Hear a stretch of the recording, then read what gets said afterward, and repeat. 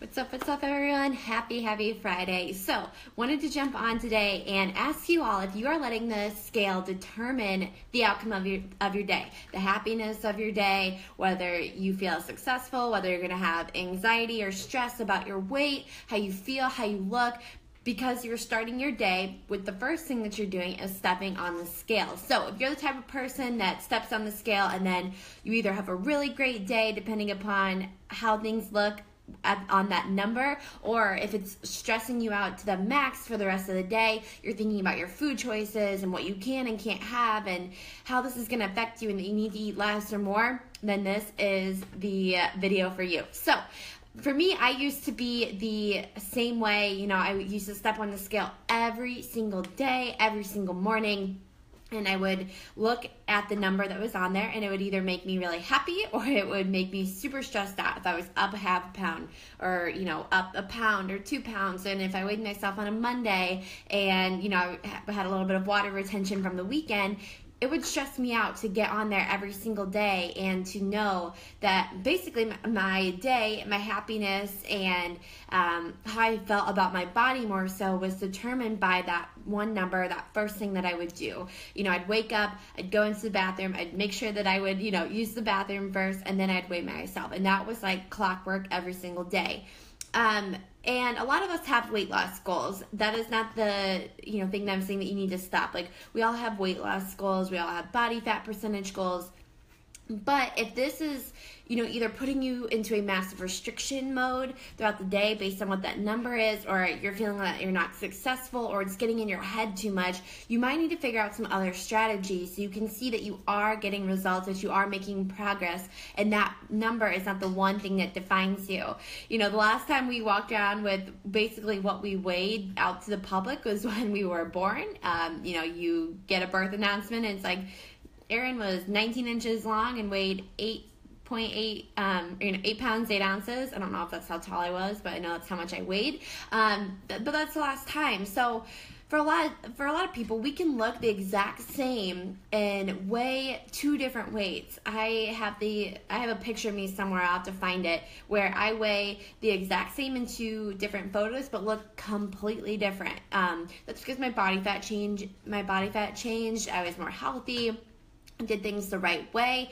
And if you're just so focused on that number, that number might not change as much as you want to. And the average weight loss for people is around anywhere from like 0.1 to up to two pounds per week. And you don't, if you have anything higher than that, you might have had some inflammation or you might have a more amount of weight to lose. Um, so that's why we can't think that, you know, overnight that this magic is going to happen uh, when it comes to the number on the scale. So, if you feel like you've been fixated or that is how you start your day, the first thing that I want you to do is pick one day per week, even if that, maybe you're gonna, you know, nix the scale altogether, but if you're going right now from weighing yourself every day, transition into maybe you have a weekly weigh in now, that weekly weigh in is not going to determine how well you did because, especially for the women out there, depending upon if it's the time of the month or if you weigh yourself on Monday after, you know, a weekend where you may have been a little bit more flexible with your nutrition, you're probably going to retain a little bit of water. So, um, weigh yourself once a week on a day that makes sense for you, for your body type, and around the same things. Now, you don't have to weigh yourself every week. That's just my suggestion to stop you from being scale obsessed and feeling frustrated with everything that happens kind of around the scale when you step on there and what you're seeing. The second thing is is take some measurements. I know it takes a few extra minutes of time, but as we, you know, build more lean muscle and we start to shed some body fat, you're going to see different numbers as far as the measurements on your arms, on your chest, on your stomach, on your hips, on your um, thighs, wherever you want to measure. Those are kind of the average places, but do that. And then in a couple weeks, check it again.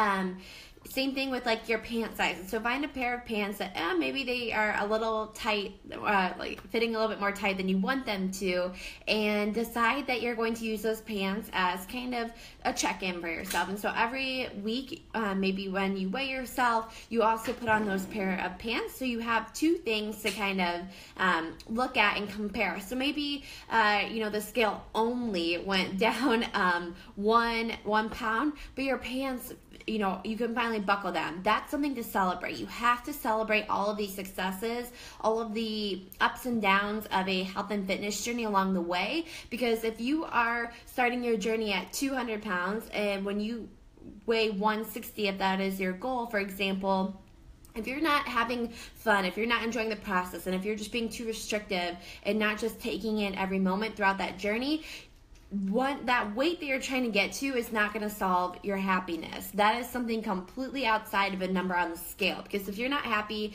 at 200 pounds, just because you get to 160 does not mean your happiness is going to change and you're going to feel better and everything is going to be magical and, you know, a miracle is going to happen. You have to love the process. You have to enjoy the ups and downs. You have to know that sometimes things are going to be hard. Sometimes things are going to little come a little bit easier. One day your motivation is probably going to be super high and you're ready to do your workout, and other days you're going to feel like you need to crawl into the gym or into your workout room or whatever that might be for you. So, enjoy the process the entire time. And the last thing is is get your body fat percentage measured. Um, you can go to certain places that have like the handheld ones. You can actually go do what's called like a bod pod, where it's more of like an underwater testing. Um, a lot of them, you know, there's different accuracies for all of them. Obviously, the one that where you go underwater, um, that's going to give you the most accurate reading. But the other ones are usually within a you know couple percentages, and it's good if you start with one and then track yourself a few weeks later even if it's not spot on you're still seeing a difference on what your um, approximate body weight and body fat percentage is so try that out just try a few different things but if you feel like you're the type of person where every day you're waking up and you're weighing yourself and that's determining your happiness for the rest of the day and how you eat and how you restrict yourself from this and that. That is not the how you know weight loss works. That is not how you are going to find balance, how you're going to get to long lasting results because if you're just focused on that number, even when you hit that number, things might change and it's not going to drive you to the true happiness and the beauty of everything which is being able to be flexible um, be able to do the things that you still love without having all of that restriction. So